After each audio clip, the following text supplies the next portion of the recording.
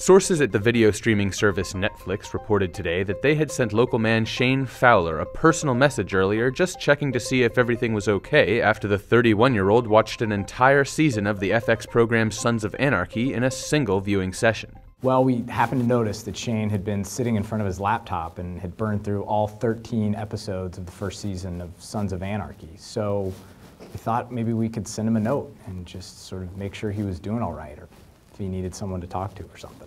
Netflix says the message, which Fowler received minutes after he finished viewing the season 1 finale of the motorcycle gang drama, was just a way for the company to see if there was anything they could do for their longtime subscriber. I mean, we do this stuff all the time. Just last year, Mike Ralston from Bartlesville, Oklahoma, watched all four seasons of The Tudors after his wife left him. We were there for him.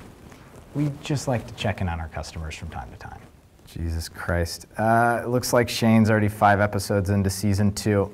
Hey guys, Can we, should we, can we just get someone over there? For more on this story, check this week's Onion Review.